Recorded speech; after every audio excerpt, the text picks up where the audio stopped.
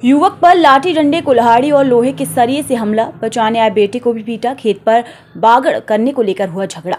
शिवपुरी ज़िले के भोंती थाना क्षेत्र के बमेरा गाँव में खेत की बागड़ करने की बात को लेकर हुए विवाद में एक दंपत्ति और उनके पिता ने एक युवक पर लाठी डंडे, कुल्हाड़ी और लोहे के सरिये से हमला कर गंभीर रूप से घायल कर दिया। इस दौरान पिता को पिटता हुआ देखकर बचाने आए पुत्र के साथ भी तीनों लोगों ने लाठी डंडों से जमकर मारपीट कर दी। वहीं बाद में घटना की रिपोर्ट पीड़ित ने थाने में दर्ज कराई। वहीं घायल को इलाज के लिए जिला अस्पताल शिवपुरी में भर्ती कराया गया है। जानकारी के अनुसार शिवदयाल जाटव निवासी बमेरा थाना भोंती ने बताया कि खेत की बागड़ को लेकर हुए विवाद में कमलेश मेवालाल और उसकी पत्नी बिमलेश जाटव ने लाठी डंडा कुल्हाड़ी और लोहे के सरिये से हमला कर उसे गंभीर रूप से घायल कर दिया। वहीं बीच बचाव करने आए उसके पुत्र के साथ भी इन लोगों ने मारपीट की। शिवदयाल ने बताया कि घटना की रिपोर्ट थाने में दर्ज कराई गई है। वहीं उसे इलाज के लिए जिला अस्पताल शिवपुरी में भर्ती कराया गया है। क्या नाम है आपका?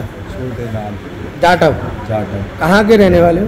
गमीरा ग्राम वो थाना कौन सा लगता है? मोती थाना क्या घटना हो गई आपको? घटना में रास्ता से निकल रहा था।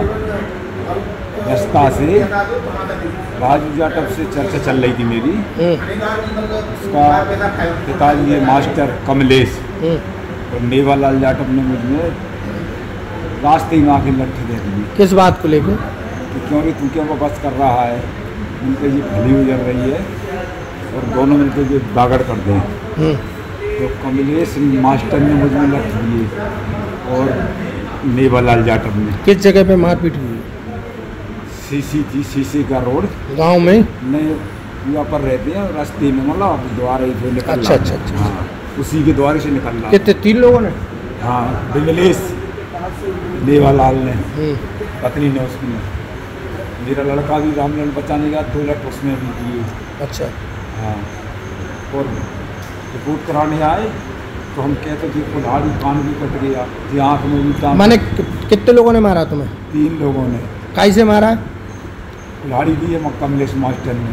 ओ और लठ दिए मेवालाल ने। बाद में फिर उसने एक तो लोहे का सरिया। किसने? मेवालाल लठ ने। वो भी दे दिए नहीं तीन लोग थे ना? तीन लोग थे। एक तो मास्टर थे। हाँ कमलेश। हाँ। एक मेवालाल। हाँ। उसकी एक महिला। महिला का नाम क्या है? बिमलेश तीनों ने मारा? तीनों ने। और थाने में पैसा पहुँचा दिया।